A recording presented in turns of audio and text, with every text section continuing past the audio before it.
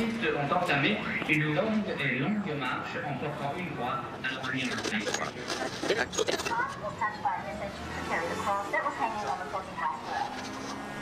And around the world. with cross, planning to travel the country where people are looking for help. Arthur Bless is on a mission from God. But for those who could not leave their homes for gasoline or fear of looters, Arthur Blessitt came For 30 years, he's walked the earth carrying his 12-foot cross and an unquenchable desire to spread the word of Jesus Christ.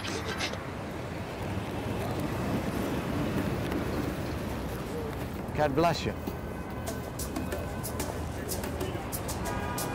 Sometimes people see me carrying the cross and they shout across the street, hey, you're a nut. I say, don't worry about it. At least I'm screwed on the right bolt. God bless you, sir.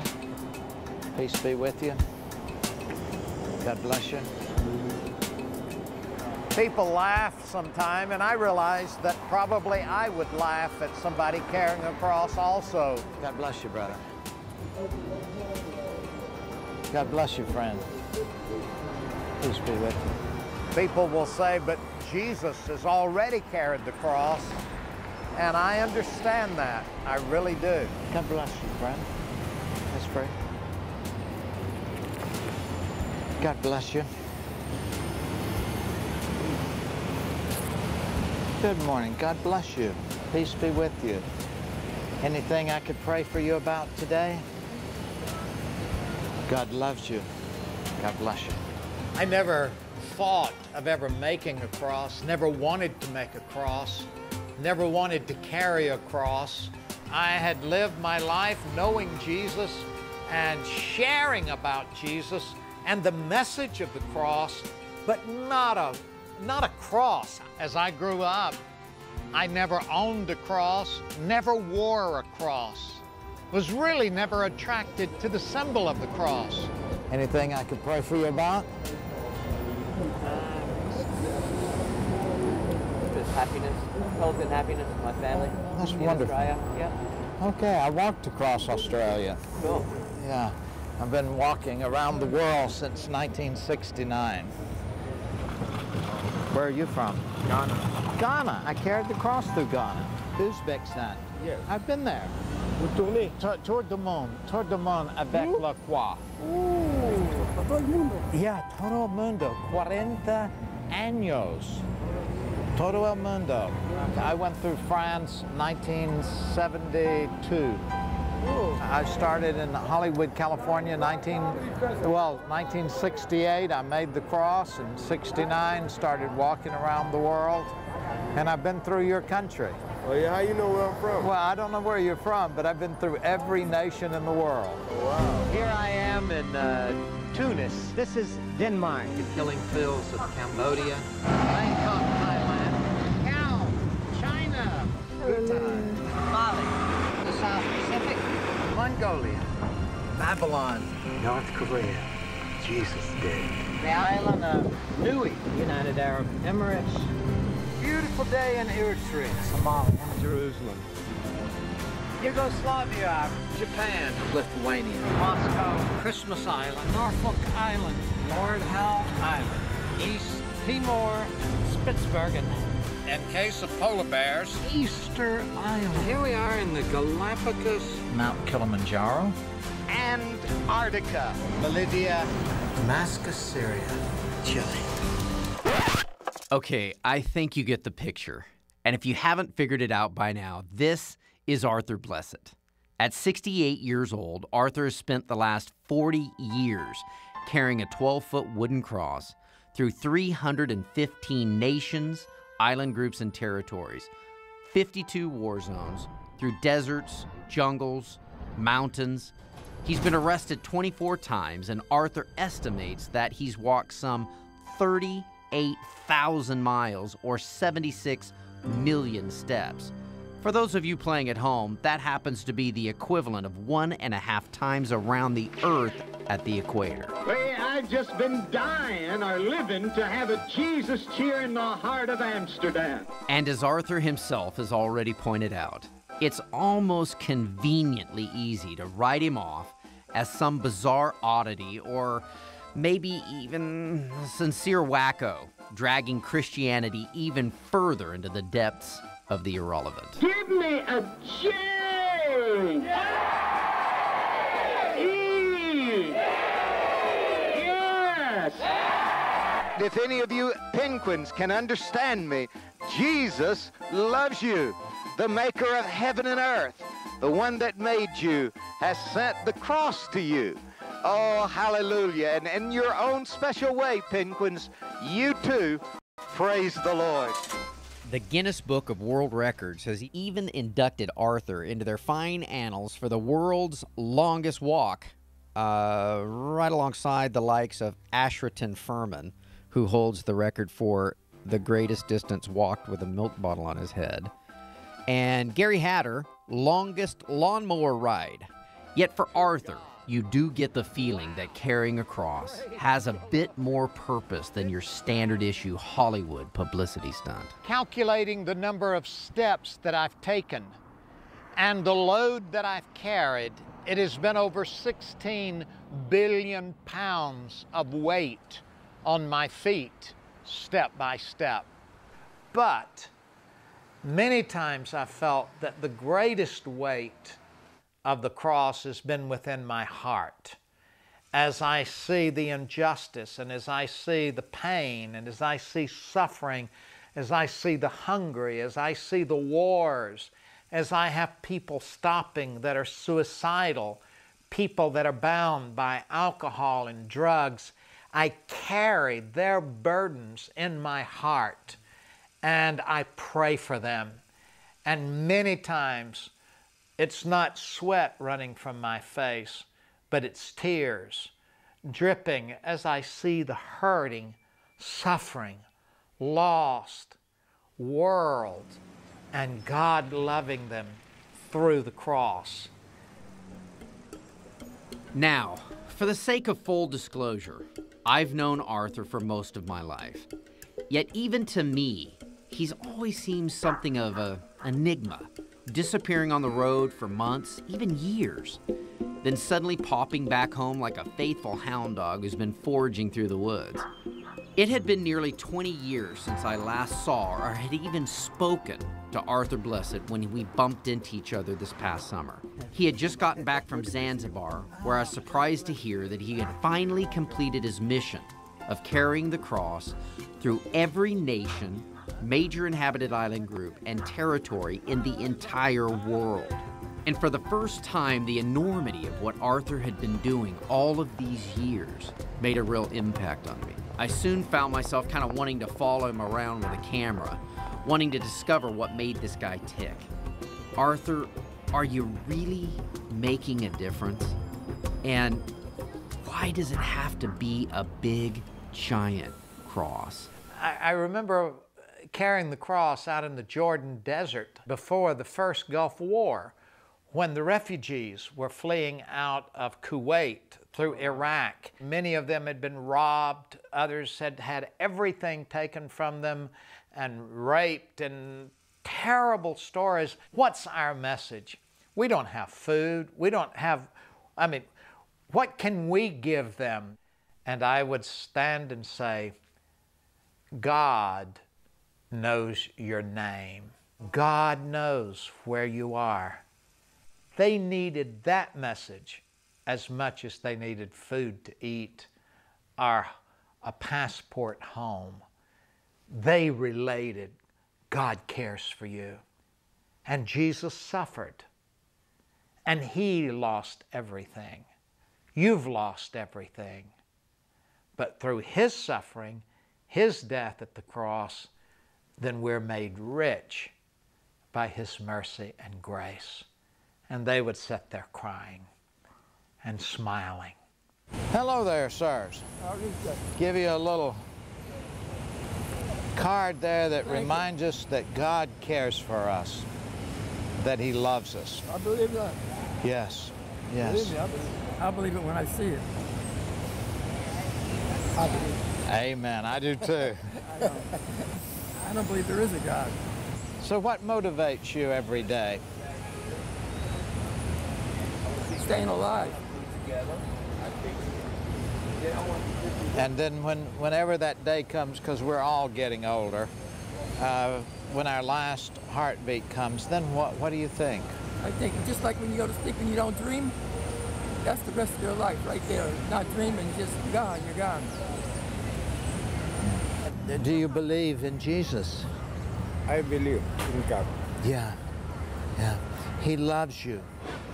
He cares for you. But I am still hungry, you know. I have nothing to eat. Uh, like the homelessness, the drug addicts, and all shit around here. It's just talking about that. Can I give you one of those? God bless you, friend. Jesus knows your name. He loves you. He cares for you. He can give you a new life. That's why he died on the cross. For hope. For a peace that passes all understanding. At the cross, Jesus knew one day you'd be sitting on this rail in the park. And he sent me by with the cross to remind you to follow him, that he loves you, and not to give up. Let the anger go and let the joy of God come in. Jesucristo, Jesucristo, entra mi corazón. entra mi corazón. Perdóname pecados. Perdona mis pecados. Controla mi vida. Controla mi vida. Father, I lift up her son. We trust him into the care of Jesus, knowing that all power is in your hand. We pray for your comfort in her heart with the loss of this precious child. But may the love of God and the peace of God fill her life and his work and his modeling and his travels and his safety. And I pray that you would turn everything around in his life beginning this week in Jesus' name. Would you say, Lord Jesus, Lord Jesus, come into my heart. come into my heart. I want to know you. I want to know you. I want to be with you. I want to be with you. Would you pray with me, Richard, and say, Dear God? Would you do that, Richard? Dear God, I need you.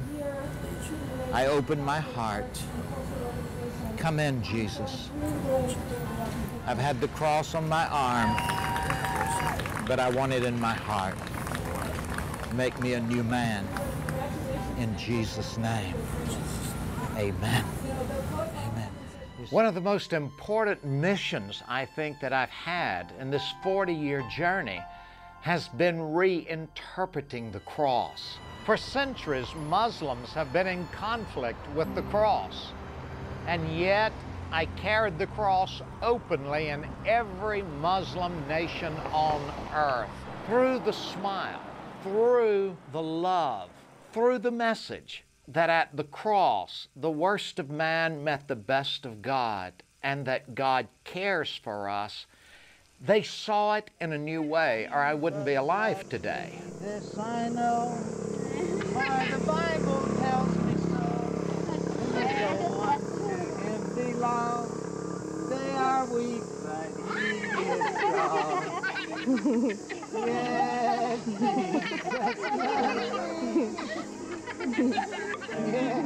a lot of times I've walked into a village and uh, either in Egypt or Iraq or Iran or wherever, and the children come running up to the cross. And they're just little children. They don't have any Christian teaching or really hardly any Islamic teaching or anything else. It's a man carrying a big board with a wheel on it. And they come up and they're sticking their toe under it and making the cross roll over their toe and then they ride on it. And I'm dragging them through town. And the people in that town, they see the friendliness of the cross. It's now their cross.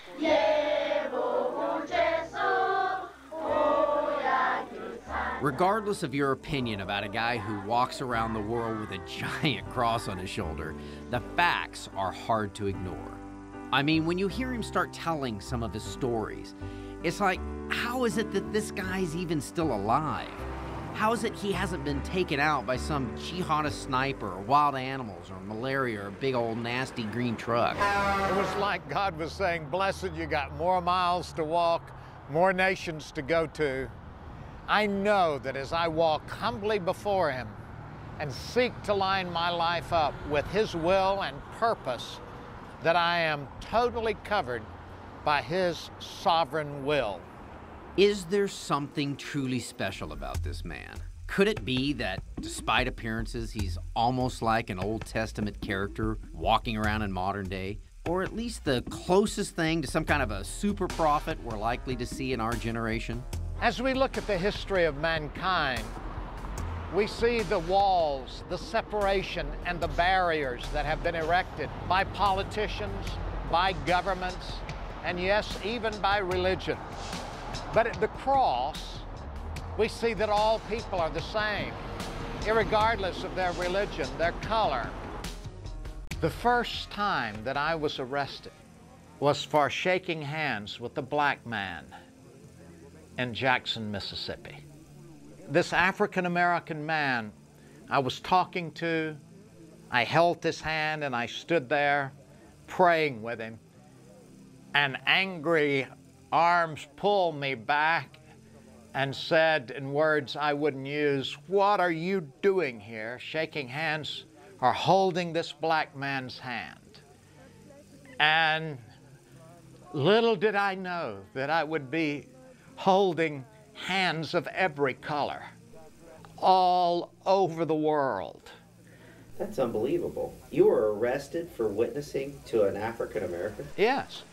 I mean, the police, they said, what, what are you down here from up north? You're some integration agitator? I said, No, I go to Mississippi College. I was born in Greenville, Mississippi. Well, don't you know you're not supposed to be shaking hands with a black man? And I said, No. I thought this was America. I'm free. I'm free to shake anybody's hand I want to. And they stuck me in the police car and took me to jail. I mean, I wasn't trying to make a, any kind of statement. I was just loving everybody on the sidewalk, minding my own business and sharing the love of Jesus. But then, no, I will be back. They said, Don't you ever come back and do this again. I said, I won't be back. I said, You're not telling me that I can't shake somebody's hand and pray with somebody. And it was the first time that I knew all this kind of defiant fire was in me. Uh, I had never, I didn't know it was there. But I, this is not right. This is not. It was an awakening for me in many areas. Or is Arthur's path even more radical? A road beyond mundane religion on which all of us have been called to walk. Whatever the case, it soon became apparent no one could tell Arthur's story but Arthur himself. You know, and I, I'm just a sinner saved by the grace of God who's been on a journey ordained by God. And the people have welcomed it. Every Buddhist country, Hindu country, and it is, uh, I don't know. This is my companion. This very cross here I carried over the Hindu Kush uh, in Iraq, in Iran, Saudi Arabia, Sudan, Somalia. I've had so many, many, many, many thousands of people come to the cross and they touch it and then they rub themselves. They, they, and, and I say, oh, but it's, it's God that's holy. It's not the wood. It's not this wood. But like, this wood is my friend. and if it could talk, uh, it'd have a lot of stories to tell. Every one of these chips and bangs and bongs on it has a story.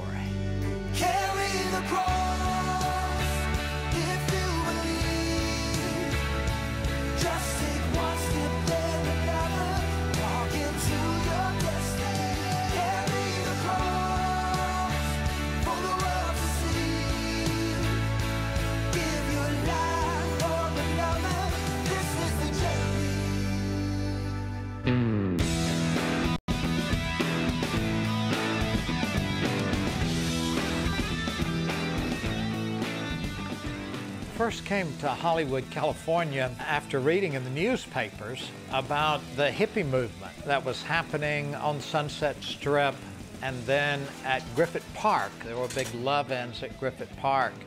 And there I showed up at Griffith Park with my uh, flat top haircut and a, uh, a suit and a tie. And all of these hippies were there smoking grass and partying. And I started giving out gospel tracts, little pieces of paper with a message of Jesus on it. And I was talking to one guy that seemed really far out. And he said, Hey man, why don't you get up there and tell them all about it? I stepped up on stage, and suddenly out of me came words I had never shared or spoken in my life. How many of you want to get high? And everybody, yay! And I said, then pray, you go all the way to heaven. How many of you want to get loaded? And everybody cheered. And I said, then load up on a little Matthew, Mark, Luke, and John and it changed my life. Down Sunset Strip in Hollywood, California, anytime, day or night, and find his place. His place is the home of the minister of Sunset Strip, and he's inviting you to visit with just in time and some very special people. A former biker chick, a bike club president, a convict, and a prostitute in his place. Here's Arthur Blessitt. We welcome you to his place here on Sunset Boulevard. We know that you're going to enjoy the testimonies that are going to be shared here around the table. His place is kind of halfway between a church and a nightclub. That's kind of a weird place to be. I began full time walking the streets of Sunset, going into the nightclubs that would let me in, and finally, Bill Gazzarri let me have uh, what he called Arthur Blessitt Gospels at Gazzarri's nightclub on Sunset Strip. And from there, with Andraé Crouch and Jimmy Owens singers. We were packing that place and sharing Jesus. What brought you here to Sunset Strip? Well, about eight months ago, I was really deeply lost in sin and prostitution, drug addiction, uh, just about anything you could name that was underhanded, I was into it.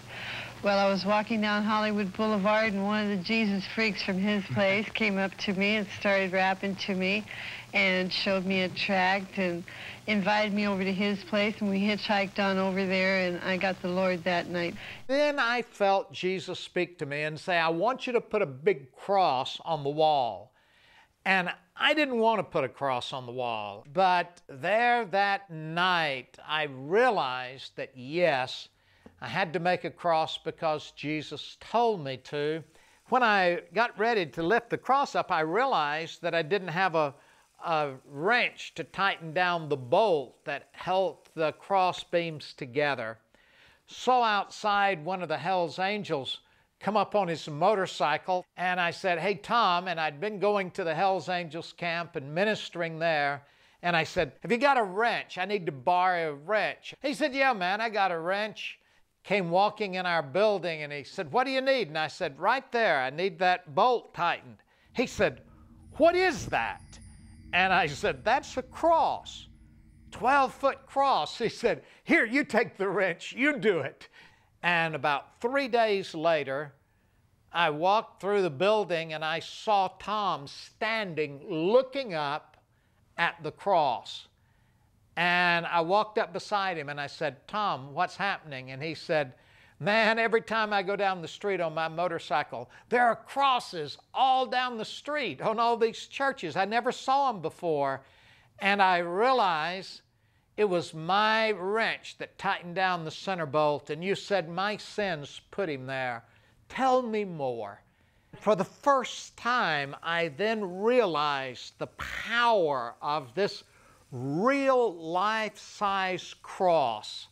And then from time to time, we took down the cross and would go down Sunset Boulevard. You see, we just love to share the Lord. We like to use what we call reds. Reds are these little red stickers. I mean, up and down the strip of dealing acid, speed, grass, mescaline, everything. So we got our reds. We go up to somebody and we say, hey, man, I turn you on some reds? And they say, far out. And I say, okay.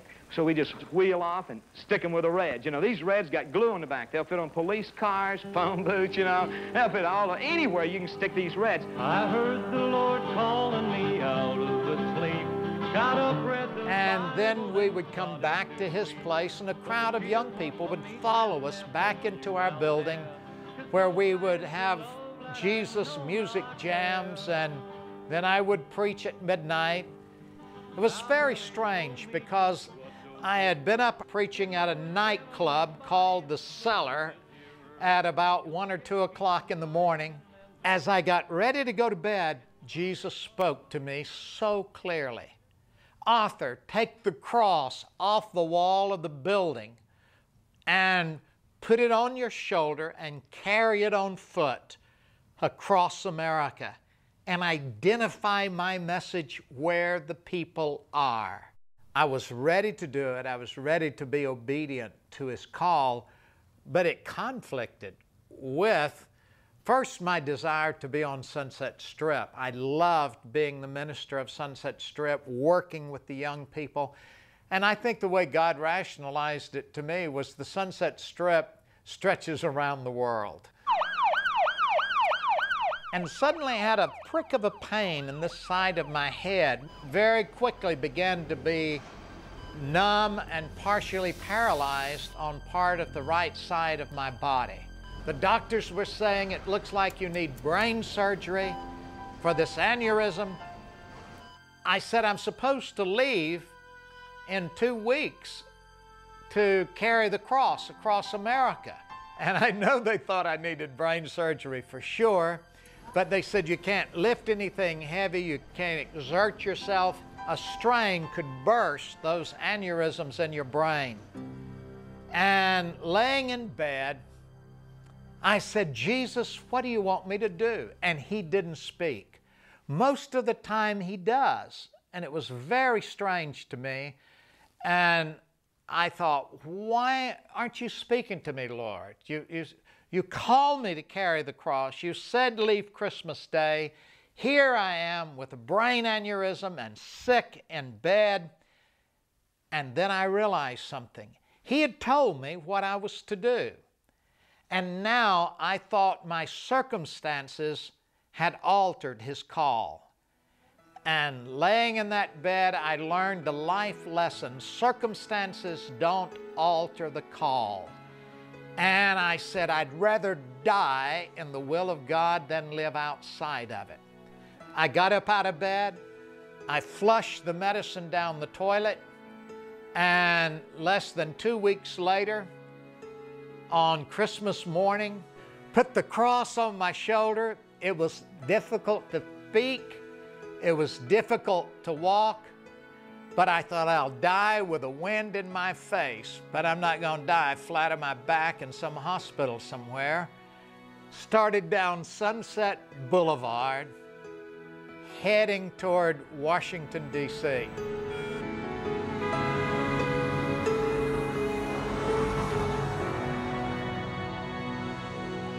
I make this vow to you Surrender all I do. You're the reason I'm here.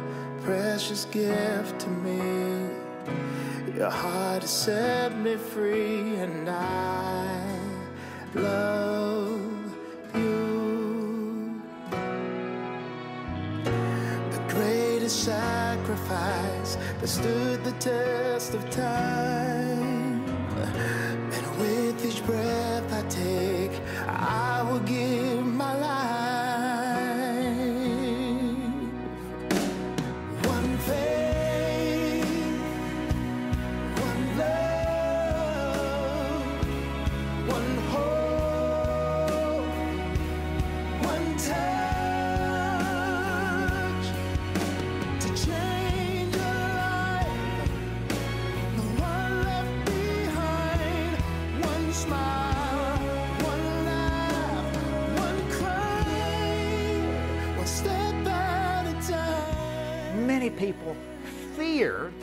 God. I say, God's calling me. Oh, oh, really? He, he's. I, I'm afraid of what.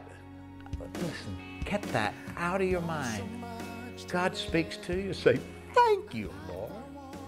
You've got a mission for me. I'd rather live in the life and will of Jesus than any other way in the world. And I'm 68 years old now. I know I look like a teenager. I, I feel younger than that. See, every difficulty either becomes a pile of stumbling blocks or stepping stones. And I look at life's struggles as a stepping stone to grow. And I'm, hey, I'm nearer to the end than it was when I began.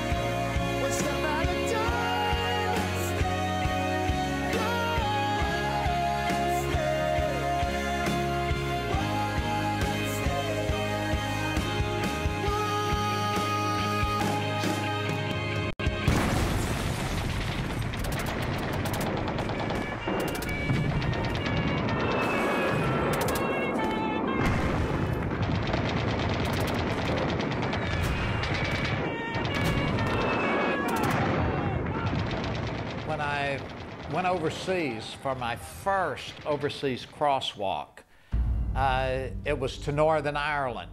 The IRA controlled uh, zones of Belfast, and I was carrying the cross through the middle of that fighting, going down through one side and back through the other. And there were a group of men standing there, and you, they said, You've crossed into our area, go back.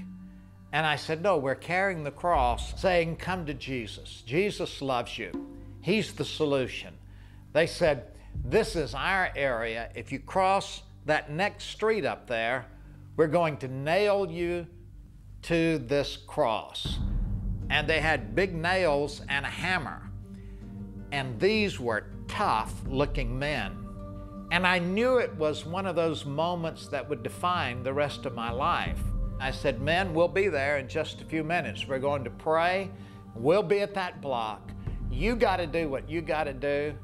I got to do what I got to do. I walked up to the men and I had little round Jesus stickers that say, Smile, God loves you. And I started sticking them on their shoulders and saying, Jesus loves you. He died on the cross for you. We can have a prayer. He can give you a new life. And they just looked in amazement and and they said, Didn't you hear what we said? And I said, Yes, I heard what you said, but I don't think you meant it. And uh, I just slapped him on the shoulder. I said, You guys look like you're nice guys. I said, God loves you. God, you, you don't have to live this life. You don't have to behave this way. There's something bigger. I said, Would you get down on your knees and pray with us? They said, Oh, just, just keep going. Just keep going. Just keep going. While Arthur was certainly showing that he wasn't lacking courage, his stories didn't seem to be helping too much in the sanity department. Sure, lots of missionaries had spent time in dangerous places, but add in a 12 foot wooden cross, and it would only seem to make things harder to get his message heard. Is a giant cross really necessary?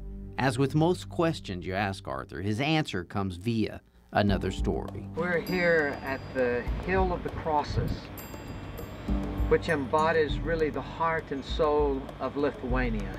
Three times this hill was bulldozed down by the communists to destroy the Hill of the Crosses, but each time it rose again in faith. We kept hearing about the Hill of Crosses, and I was very, very interested in seeing this place, but I was not prepared for it because as I came upon it, you suddenly see this hill, and there are thousands and tens of thousands of crosses. But when you realize that it is people under the oppression of communism trying to destroy any belief in God, that every cross represented some family's statement of defiance.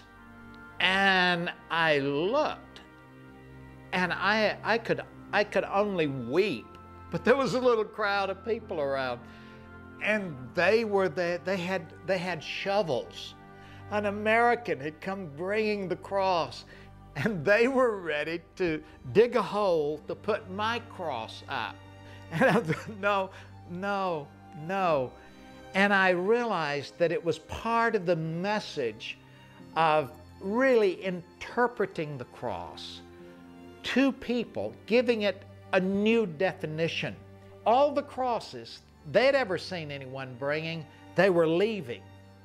But mine, they got the point he's carrying his, he's going somewhere, he's spreading a message.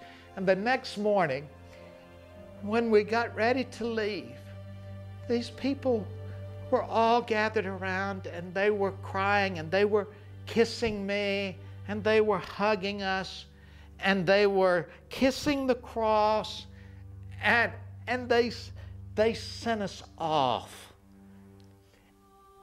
And it was a revolution because I was the only one that brought a cross and left with the same cross that they had brought.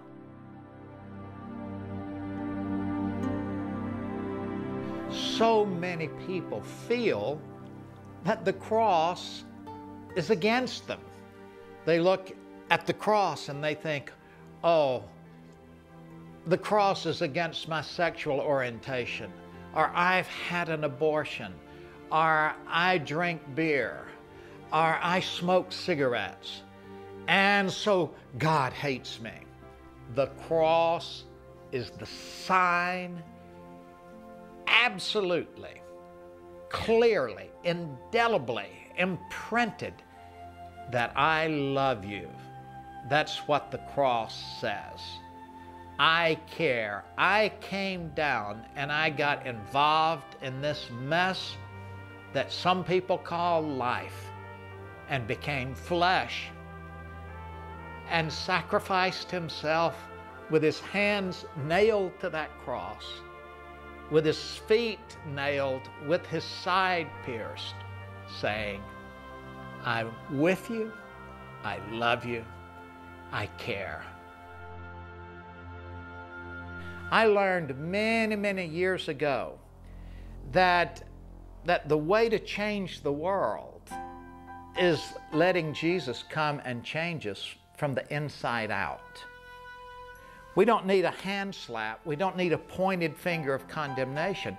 People know they've got problems. They know that they're not perfect, but they're looking for a way out. That is what real conversion is all about, is that if any person be in Christ, they are a new creation. They're a new existence. Christ, who died and rose again, now lives in them and they're changed. There's no battle. They don't want it. They don't need it. They don't desire it. No.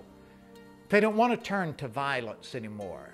They don't want to live the life they've been living because they have a new desire.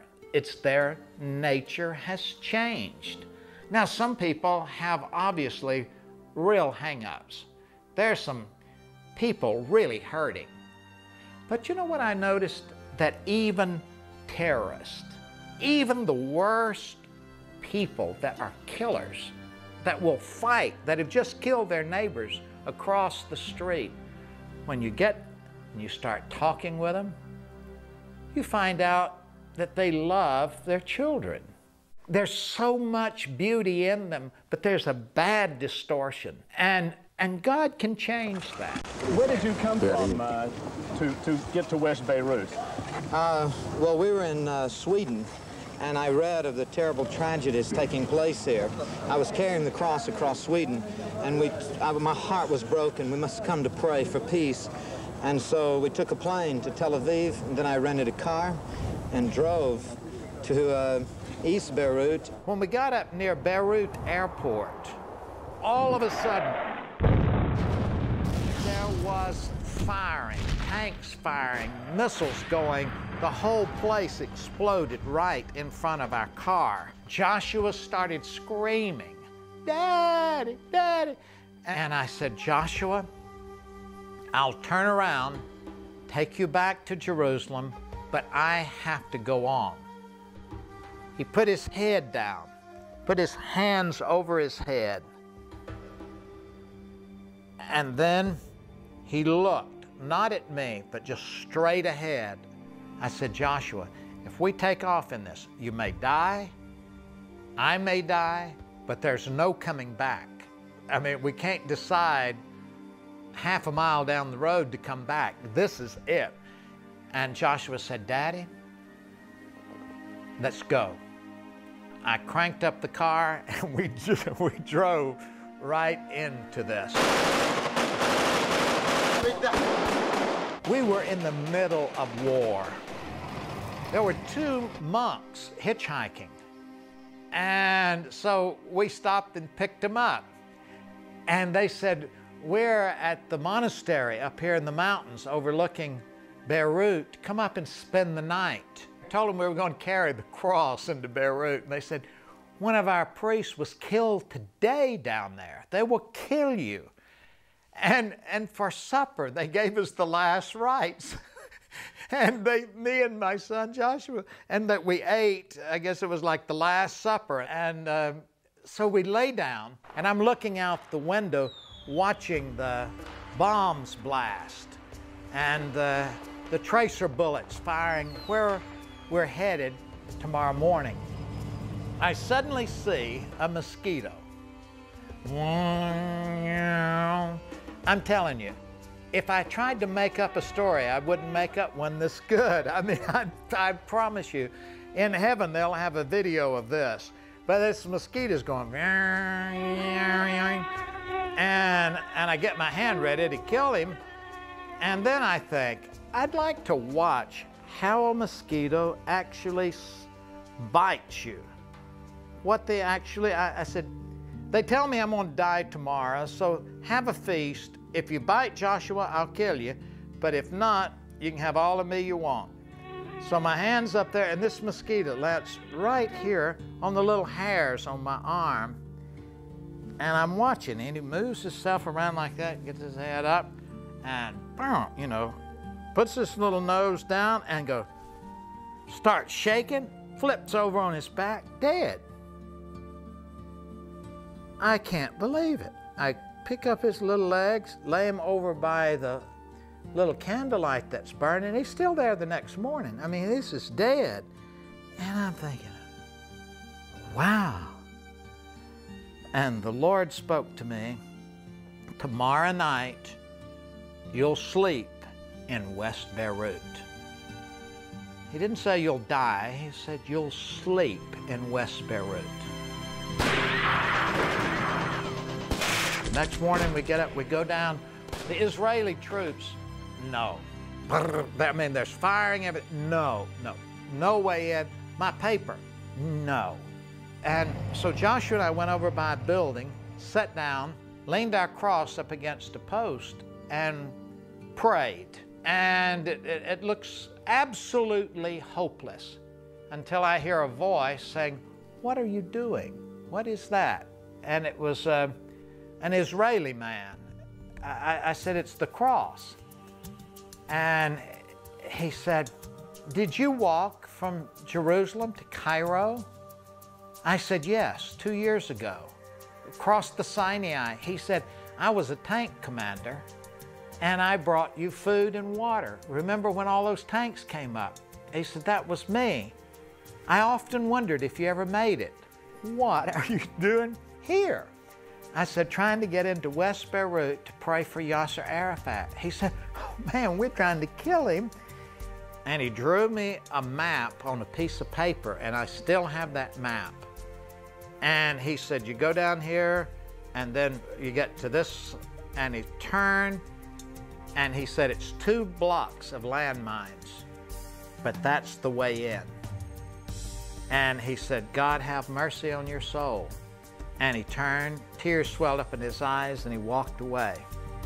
And we start walking fast, Israeli soldiers are hollering, you know, come back, come back.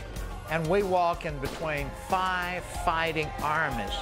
And I'm holding Joshua's hand and we're saying, I'm saying, you know, oh, Joshua, I said, which way do you think we should go? I don't know, Daddy. I pray. I'm praying, Daddy. I'm praying. And then we come up on a big pile of dirt and steel, an anti-tank barrier. Step up to the top and there's all these guns pointed at us and a guy says, what are you doing here? And I said, he said it in English, and I said, carrying the cross. We've come with good news.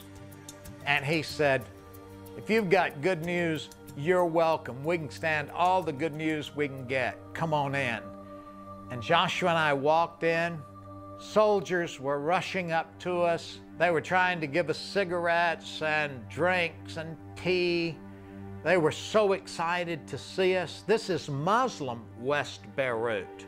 All of a sudden, there's a noise, and around the building steps Yasser Arafat. He has come to welcome us. Peter Arnett of CNN filmed it. The evangelist Arthur Blessitt from Los Angeles described himself as a follower of Jesus, and the cross was for all people. Can I say a prayer? Father, I pray in the name of Jesus for your peace. I pray for your peace in all this land. That there be no more killing, there be no more death, and that the dreams and the hopes and aspirations of all people shall be filled.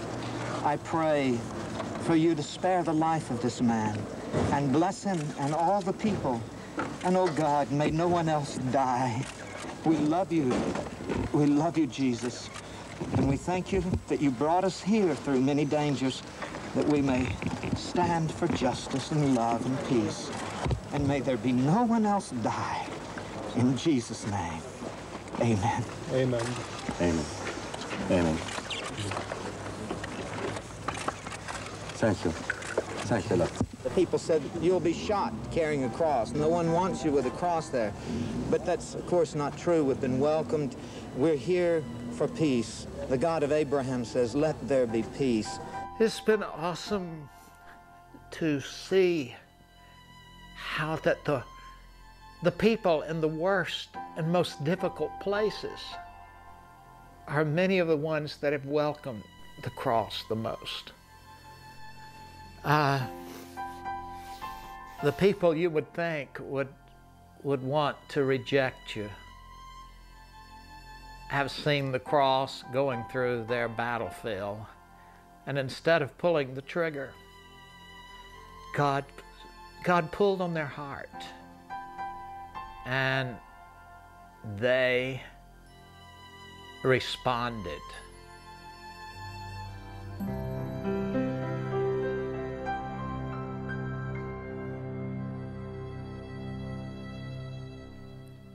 Matt Crouch, who is uh, directing this film, has been trying to get me down to the real hard stuff of suffering and what is really bad.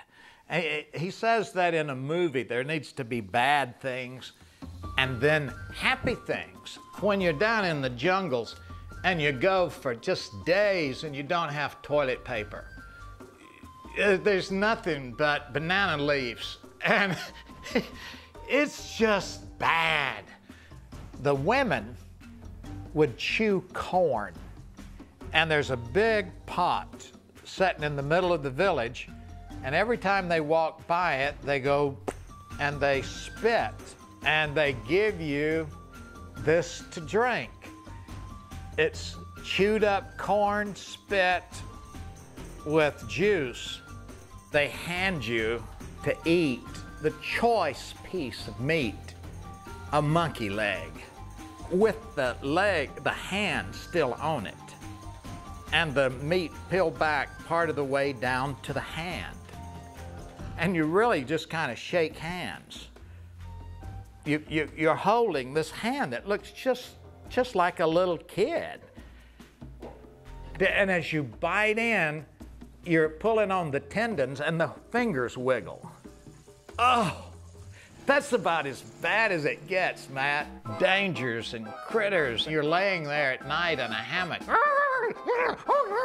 It reared up on its legs and just as the lady opens the door, I'm going, oh, oh, eh, oh. As I was squatting there, I saw the, the grass begin to shake. And I know it was a worm because as a kid I fished and we used it for bait. I think the, the worst toilet experience was, again, Japan is so high tech.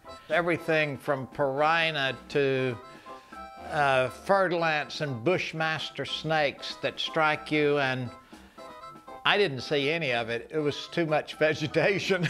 you punch this button, then this button, then this button. I hollered, Jesus, and just jumped. And this crocodile came right over where I had been squatting. When I looked at it, I, I, I said, I can't, I can't eat it. And the interpreter said, you've got to, grandma cooked it. So you punch this one, there's a big flow of water just washes your whole bottom, boom, before it even hit my stomach. It was on the way up faster than it went down. And I had to just leap into the house and start stripping off my pants. There was this juice. It was like vomit. It was pink. It was like pink vomit and you punch this one and then there's a hot air, but you look here and there are all these people just grinning at you and you know this is what they spit out that you're eating. if you punched them in the wrong order, you, you, you didn't know what you were getting. it, was, it was awful.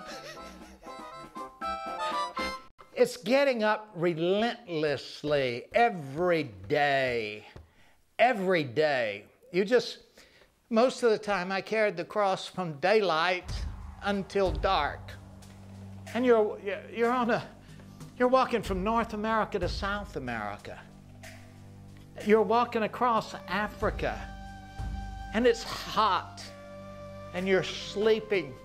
And you're itching. I remember one time, maybe the tough. I was going across West Africa and I'd been walking and there was a, uh, a missionary guest house. And you can go there and you can just rest. And I looked forward to that for probably two months to just get in that air conditioner. I thought I'll stay there like, like maybe three days maybe two days. I'll just stretch it. I just want to get where it's cool and, uh, and just rest. And I got there. I was standing there with the cross and I said, uh, I'm Arthur Blessitt. I said, I'm walking across Africa. And they've been telling me the last couple of months about the mission compound here. And I, I said, I'm willing to pay but they said that I that you had air conditioning and, and I would love to get a, a room here just to, and rest up for two or three days if you didn't mind. And they said, uh, uh, you know, we only uh, we only have uh, missionaries. Uh, it's not open for the public. Uh, you know, we, we're not a motel or anything, just missionaries. And I said, well, I mean, I'm Mercy, I'm a missionary. I've been walking from uh, Sierra Leone. that, that's like 2,000 miles back the way. I said, uh, and, I, and I preach every day. I said, I'm an ordained minister. And they said, we thank you so much, but, but we just, you're just, uh, we just do regular missionaries. Uh, and we just can't let bypassers and backpackers and whatever stay. And I said, thank you. Thank you. And I walked away. And I was so hurt. You know, I guess even carrying the cross, I'm not a qualified missionary. I don't have a badge. I don't have any card to say I'm anything. It's just uh, carrying a cross. And as I walked on, probably not over half an hour down the road, a car pulled over, a Peugeot, white Peugeot, and never will forget it.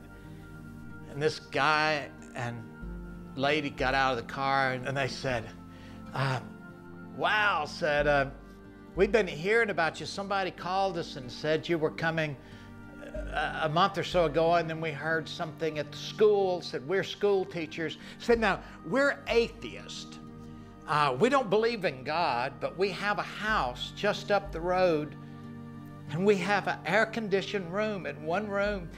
And if you would, we would love to have you stop at our house and just stay as long as you want to. I said, Are you serious? And they said, Yeah. They said, Are you okay? He said, You look like you've been crying. I said, Oh, I, I'm okay. I said, I'm all right. And they, they just moved out of their bedroom and, and they fed me and I rested.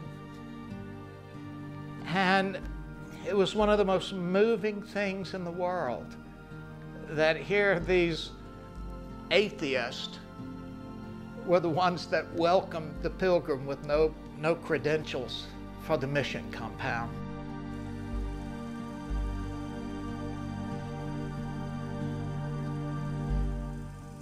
In Arabic, there is a word that the Arabs use, inshallah, whatever God wills. And when you get to that, there is an incredible freedom.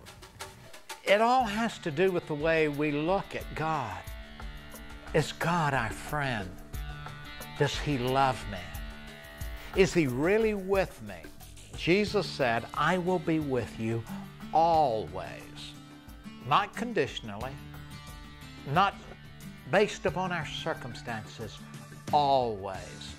And when you know that, that He is present no matter what is going on in your life, there is confidence, there is lack of fear, there is boldness, and there is an assurance that what He wants will come to pass.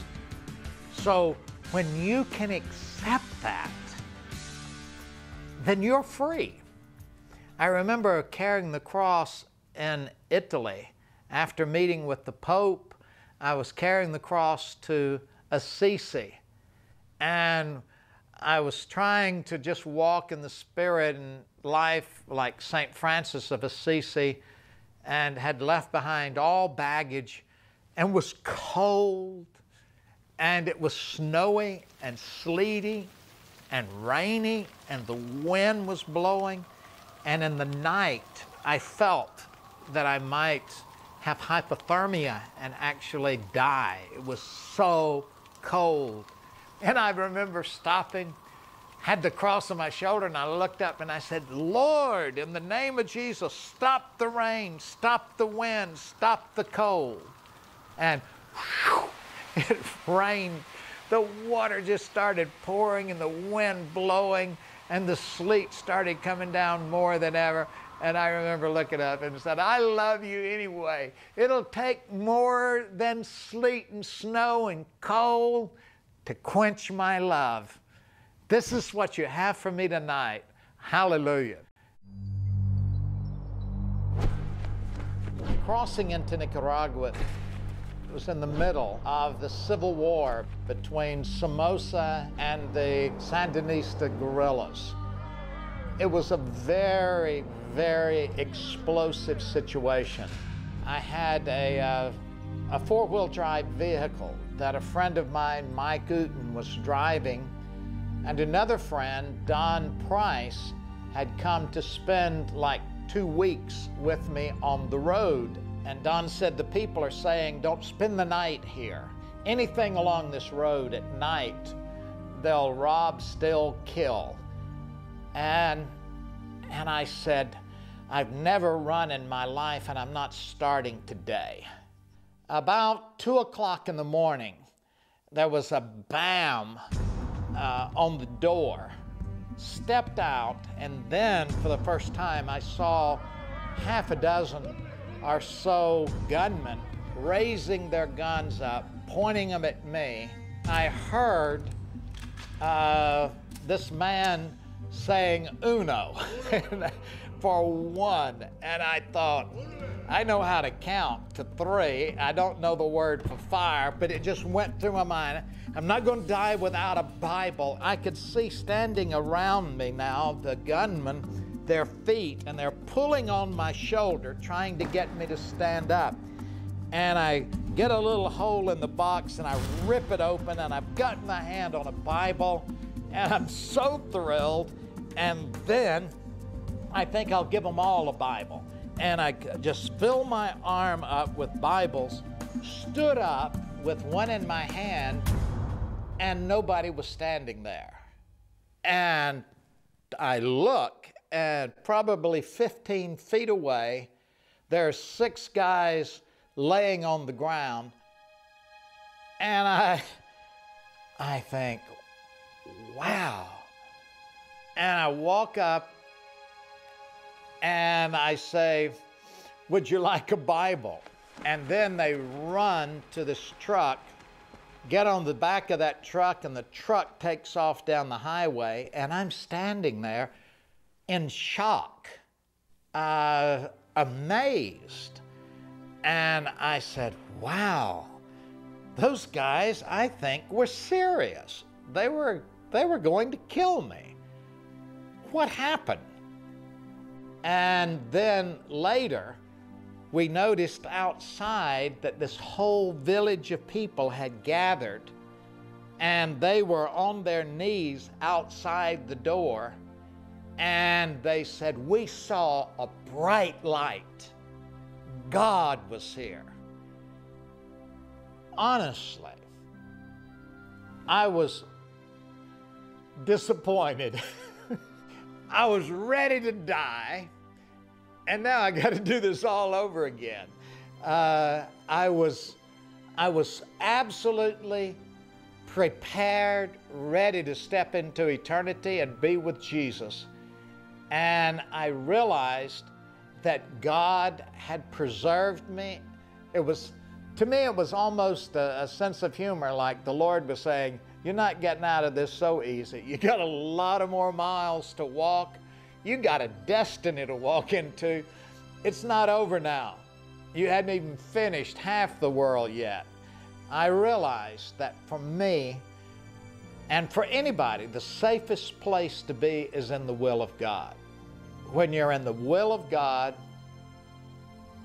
and He determines that you'll make it, you'll make it. In 1979, Arthur's view of the sovereignty of God was put to the ultimate test. He found himself facing one of the deepest, most impenetrable jungles in the world, the Darien Gap of southern Panama. Of course, it was becoming quite clear to me that to Arthur, there are no tests only opportunities to experience God in new and unusual ways.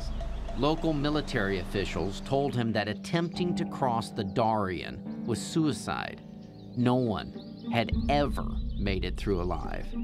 Undeterred, Arthur recruited two faithful friends, one an ex Green Beret, to accompany him on the dangerous journey and to help with the heavy supplies that would be crucial to their survival. Less than one week into the jungle, both the friends turned back. I think at the very moment that the second guy decided to go back was one of the defining moments of my life. It was a very alone feeling. Not lonely, because I knew Jesus was with me, but very alone. I had heard that I had to have them in order to make it. And now both were going back. And I, and I stood there in shock. And I knew that whatever was my destiny, I had to go forward. Jesus said, walk from North America to South America. He didn't say, take a boat around the difficult place. And I knew for me, I had to go on.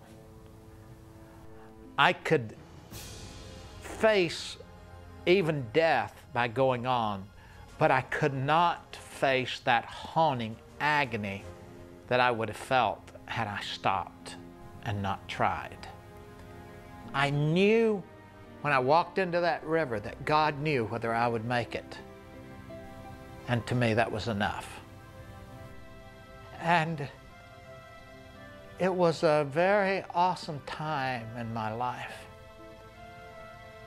because the only one that spoke English was Jesus.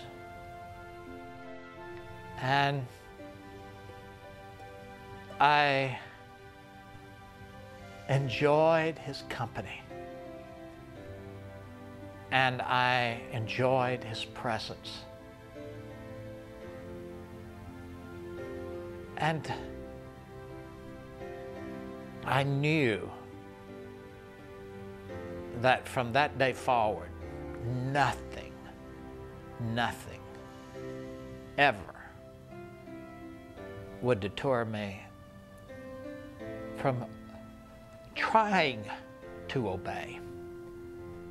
I may fail, but if I fail, I will fail falling forward, not setting down, not, not ruled by fear.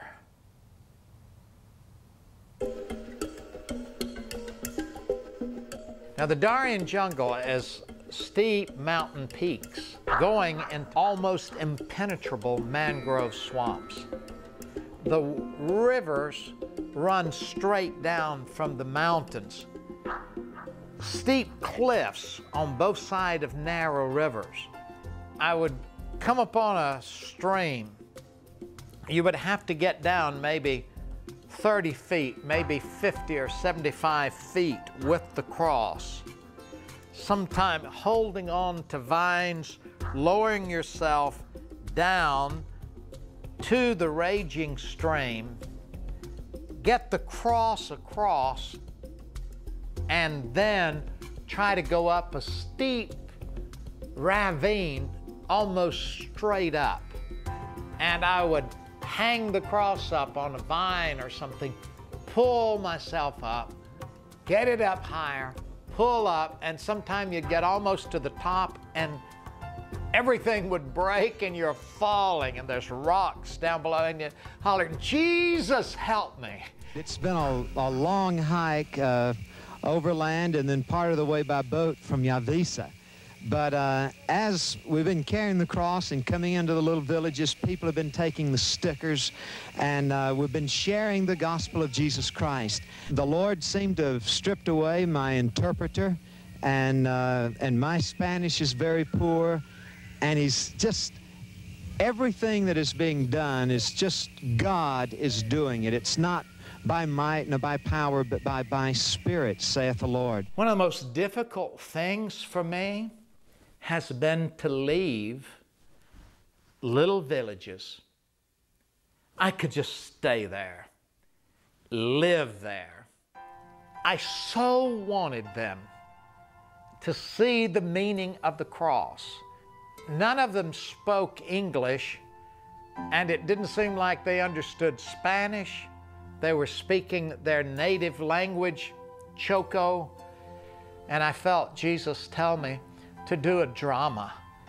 And I took the cross and I was doing the drama of the crucifixion of Christ. And the people were looking at me. And then I began to weep as I thought, oh God, they, I, they need to understand. I so want them to see your love and to see the love that the cross represents. And as I was weeping, I looked out and people were crying.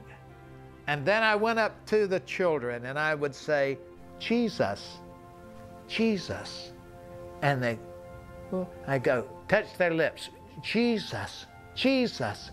And they, Jesus, yeah, yes, Jesus.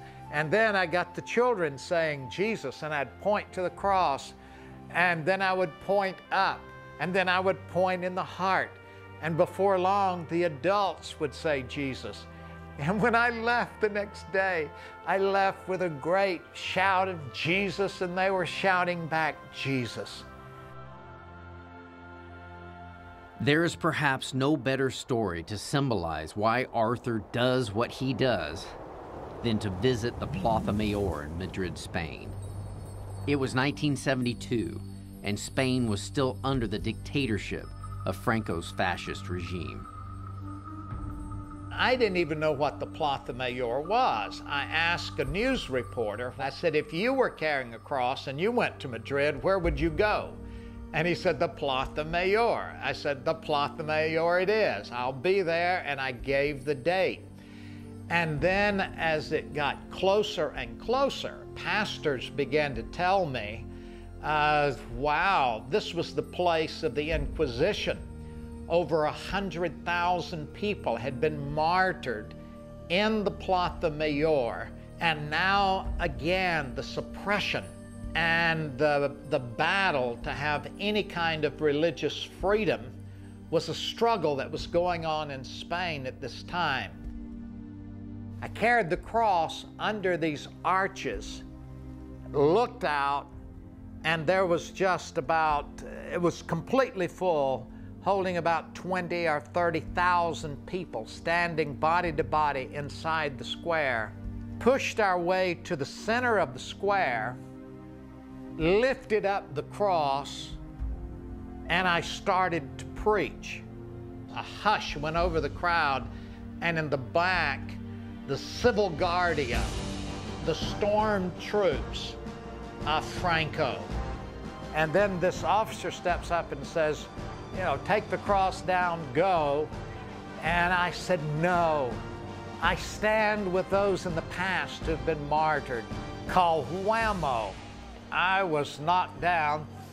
The cross fell down. And one of the most amazing stories of my entire life took place before my eyes. One of the pastors standing nearby grabbed the cross and started lifting it up, and others rushed up, grabbed the cross, lifted the cross up.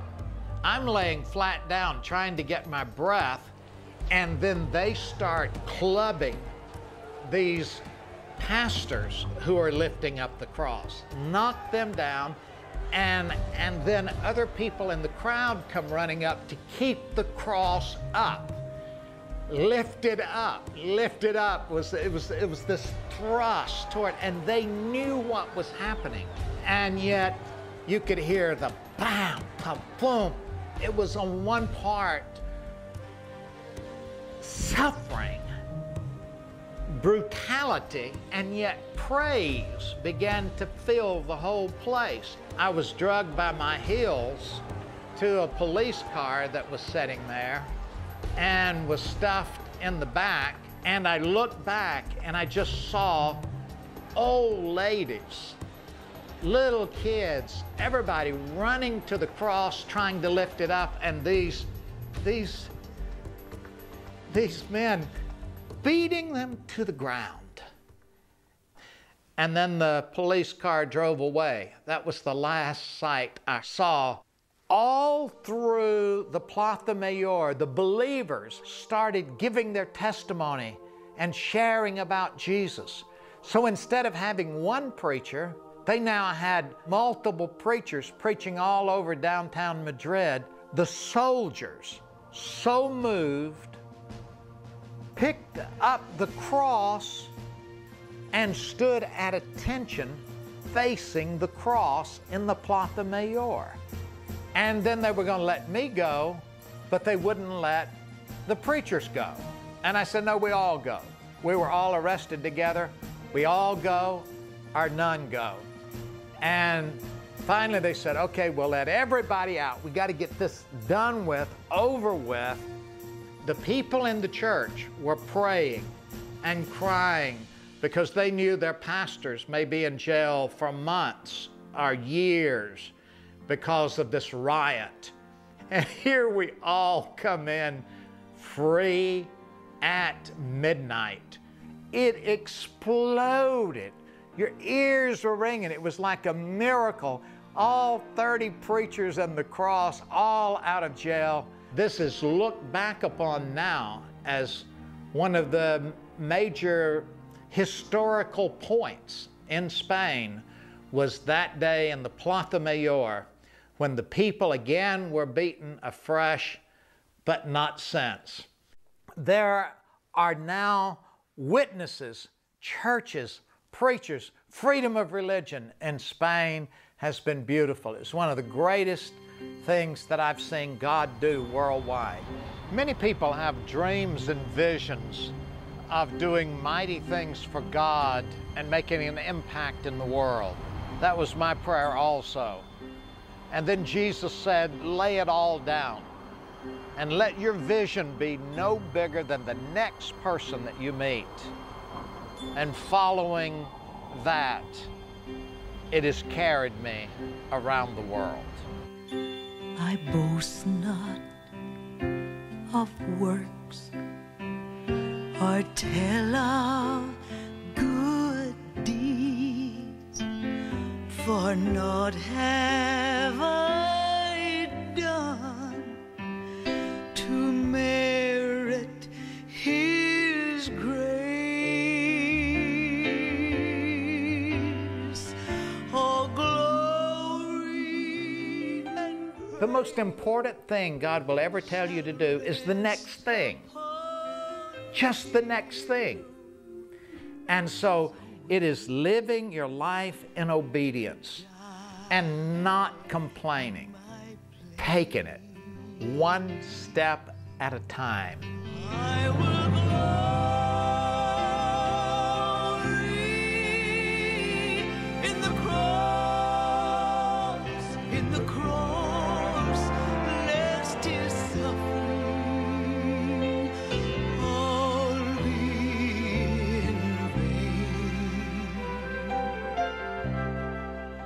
My wife and even my children have often said, Arthur can never be defeated because no matter what happens, he thinks God's in it and that that's the way God worked it out. And so he's looking for the golden opportunity in every situation.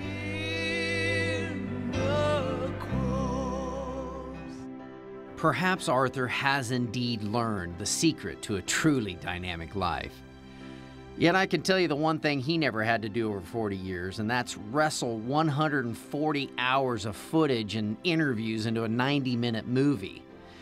Yet, as Arthur has told us one amazing story after another, more than we could ever include in a movie, something very interesting began to happen. The more we listened, the more we found ourselves way more interested in hearing about what the cross did to Arthur than what Arthur did with the cross. It was as if the stories, you know, didn't really seem to matter anymore. And to Arthur, that meant the world, because we were finally beginning to understand. I know people are fascinated by stories, but I'm not a walking story. What moves me is my relationship with Jesus and my relationship with people, individuals, one by one by one. I wasn't walking to try to find a war to go through. Why was I going through the Darien? Because there were people in there. Nobody stops me on the road and says, Tell me about a firing squad. Tell me about some sensational story. Around the world, you know what the most common question is? Tell me, what do you know about God?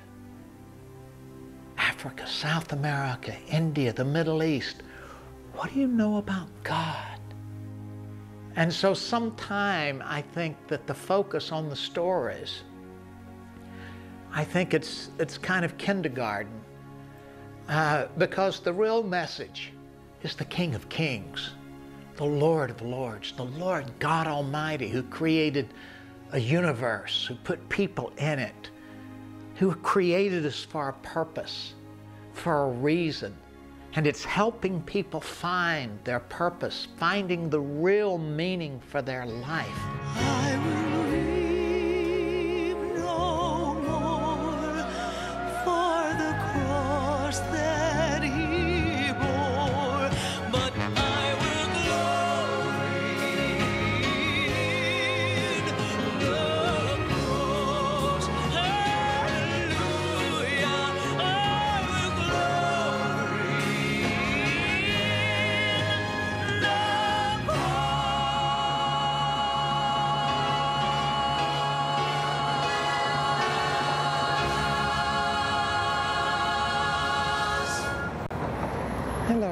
Bless you.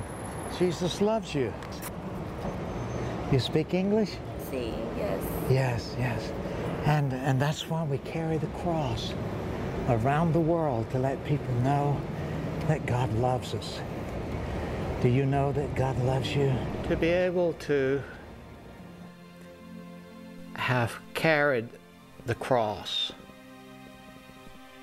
and see the way that, that God has opened the way, the identity that people have felt with the symbol of the love of God. And just say, Dear Jesus, would you say, Dear, Dear Je- Jesus, come into my heart.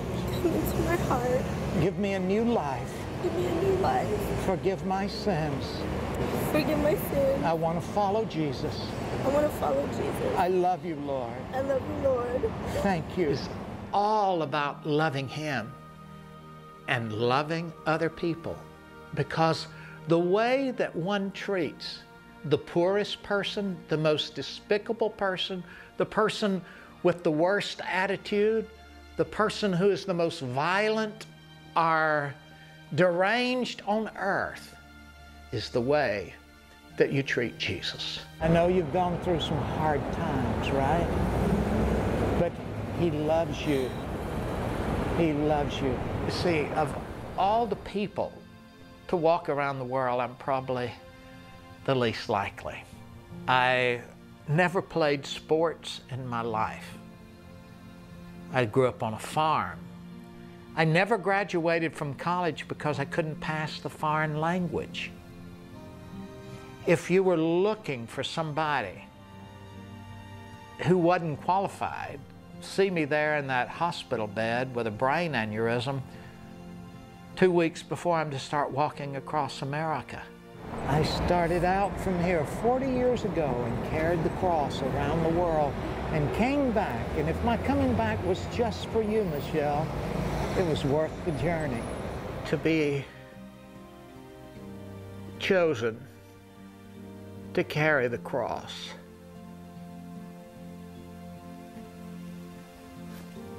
Is, is indescribable. I, I'm not worthy, most of all.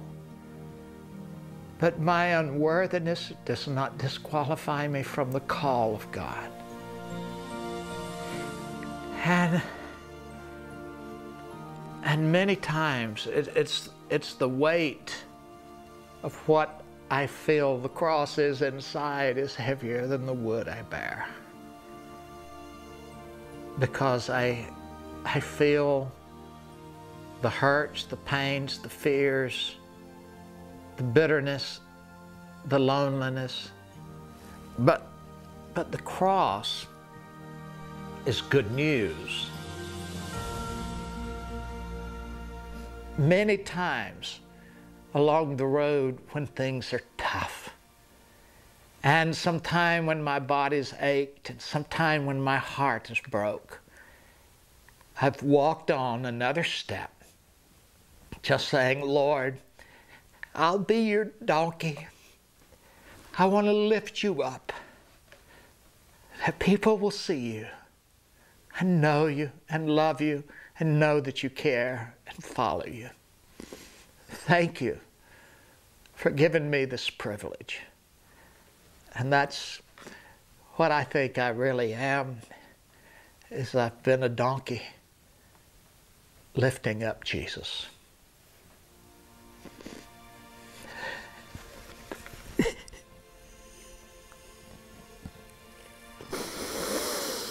And if there is any glory, it is unto God, not me. I ne- never really dreamed that I would ever really live to see the completion of this journey. I figured I'd be wiped out by a Big Mack truck somewhere or blown up somewhere. And, and when I finished that last step in, in Zanzibar, I don't know. The, the realization that even just sitting here right now, talking about it, it's, it's millions of miracles. It is, it is just the, the most humbling thing to be identified with, with Jesus. It's all for you, Jesus. I love you. Thanks for calling me. Thanks that you had mercy to let me live, to complete the journey, and even live to tell the story. Your destiny, your stationed your angels around me, the blood of Jesus about me, and you brought us through. And may you be glorified. Just glorified.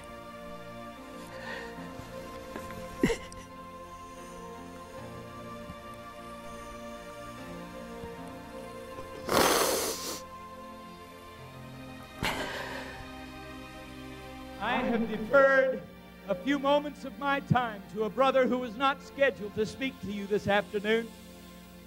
But many of us have felt that God would have him come and just give a brief word of greeting unto you. He has walked all the way around the world with this cross that you see behind me. Would you welcome our brother, your brother and mine, Arthur Blessitt? Praise the Lord! Let's great and mighty and glorious Jesus cheer that they'll hear all over Washington. Are you ready? Give me a J!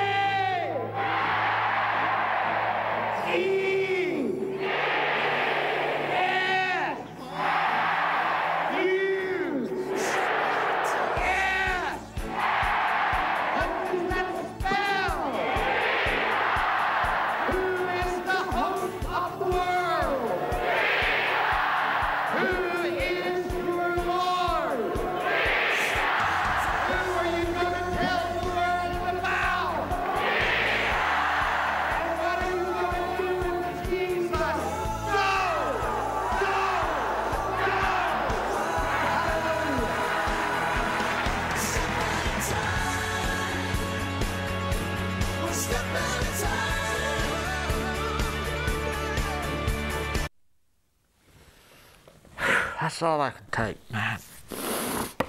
That's what it's all about.